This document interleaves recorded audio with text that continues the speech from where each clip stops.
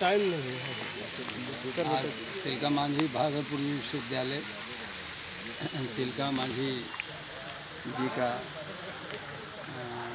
जन्म दिवस पर जन्म उत्सव मना रहा है बड़े धूमधाम से मना रहा है।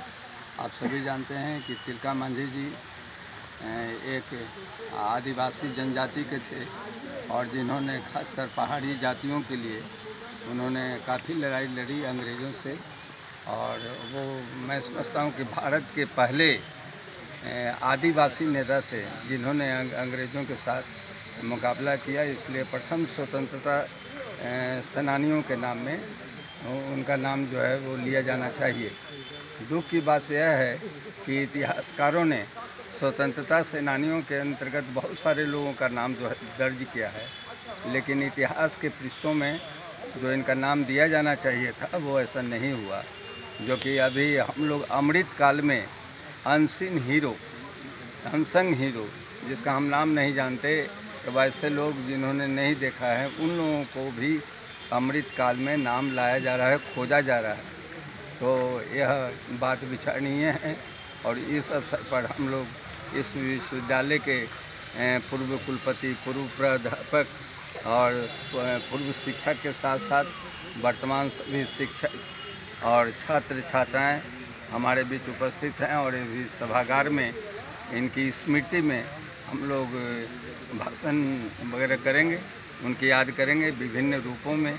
और मेरी जो सोच है यह विश्वविद्यालय जो तिलका मांझी जी के नाम पर बना है, बाद में कन्वर्ट हुआ, उसको इस तिलका मांझी जी की दो चीज़ों की सोच करनी। है शोध की आवश्यकता है। पहली बात, कि उनके जीवन का, के ऊपर शोध किया जाए, रिसर्च किया जाए, उनका लाइफ कैसा था। दूसरी चीज़ है कि उनके जो लड़ाई के तरीके थे, वो आखिर कैसे थे? युद्ध का उनका टेक्निक कैसा था, जो कि अंग्रेज़ जिसके पास तोप, गन, बंदूक सब जितना भी होगा, वो सब आधुनिक हथियार थे। फिर भी इन्होंने तीर और मतलब धनुष धनुष और तीर और धनुष से इन्होंने अंग्रेज़ों के छक्के छोड़ाए।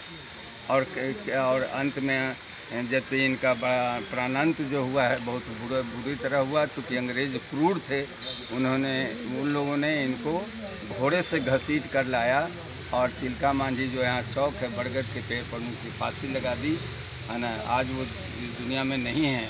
लेकिन फिर भी उनके कारनामों का उनके युद्ध के टेक्निक का उनके वीर गाथा का यह विश्वविद्यालय हमेशा के लिए गुणगान कर, करेगा और साथ साथ शोध के माध्यम से और उन्हें आगे बढ़ाएगा। बिहार के अलावे दूसरे राज्यों में और देश स्तर पर हम उनका नाम को अमर रखेंगे आगे बढ़ाएँगे। यह मेरी कामना इस अवसर पर क्या लोगों को संदेश देना चाहेंगे? मैं देना चाहता हूँ ये कि जिस प्रकार तिलका मांझी जी अपने डिटर्मिनेशन के पक्के थे, उन्होंने एक बार नहीं, कई बार उनका पीछा किया। मैं समझता हूँ तीन बार अंग्रेज़ों ने ज़बरदस्त पीछा किया, फिर भी वो पीछे नहीं हटे।